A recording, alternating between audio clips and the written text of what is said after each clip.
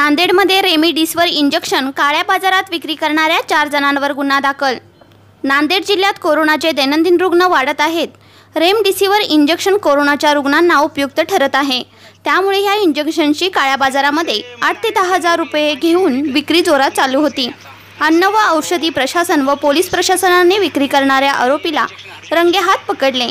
त्याच आरोपीवर गुन्हा दाखल झालेला आहे. नांदेड जिल्ह्यात इंजेक्शनचा काळाबाजार करणारी मोठी टोळी असू शकते.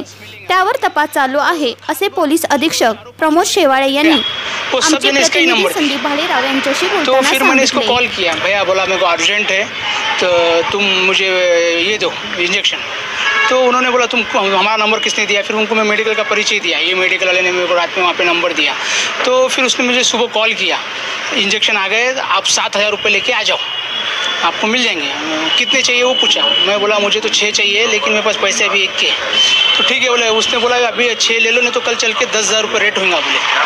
दस हज़ार रुपये रेट होगा तो बोले, अभी के अभी छः ले लो मेरे पास पैसे नहीं है, मुझे अभी एक ही दो।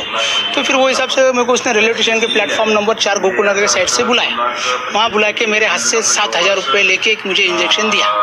उसको वो पैसे लेते टाइम वो एल सी बी के पी आई साहब को पहले मैंने माहिती दे के रखा था।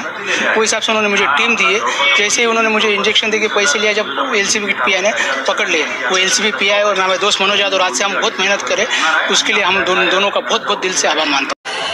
अन्न व औषध प्रशासन व पोलीस विभागातर्फे एकत्रित, एक संयुक्त कारवाई घेण्यात आलेली आहे, ज्यामध्ये रेमडेसिवीर, जो कोविड रुग्णांना वापरण्यात येणारा अतिमहत्वाचा औषध आहे, अशा औषधाची काळाबाजारी करणारे काही लोक हाताशी लागलेले आहे.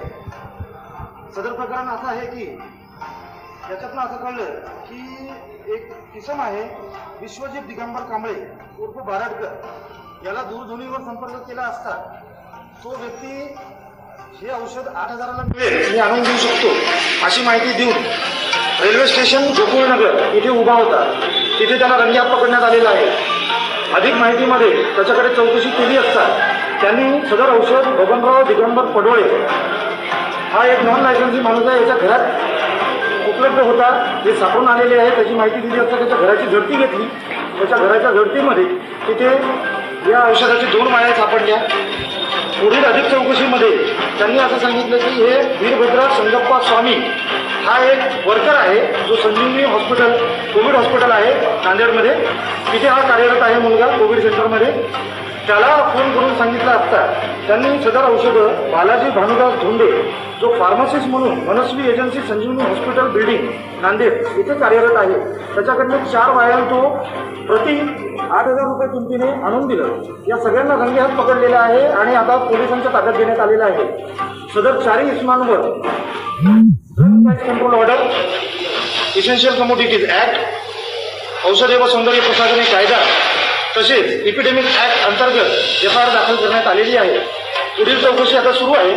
पुढील चौकशीमध्ये असं दिसून येतंय त्यांच्याकडनं आम्हाला कळलेलं आहे की यात आणखीही बरेच काही हॉस्पिटलचे जे संलग्न मेडिकल आहेत ते कदाचित असू शकतात. अधिक चौकशीमध्ये तसं सापडल्यावर सगळ्यावर कडक कारवाई करण्यात तुटवडा असून काळ्या मार्केटमध्ये ब्लॅक मार्केटमध्ये ते मिळत आहे अशी गोपनीय बातमी मिळाली होती. त्या अनुषंगाने एल सी बीचे अधिकारी कर्मचारी आणि अन्न आणि नागरी अन्न आणि औषध प्रशासन विभागाचे अधिकारी आणि गोपनीय बातमीदार यांच्या संयुक्त विद्यमाने एकूण सात इंजेक्शन जप्त करण्यात आलेले आहेत. एफ डी एच्या अधिकाऱ्यांची फिर्याद घेऊन आवश्यक कायदेशीर कारवाई आपण करत आहोत. त्यानंतर तपासात ते निष्पन्न होईल.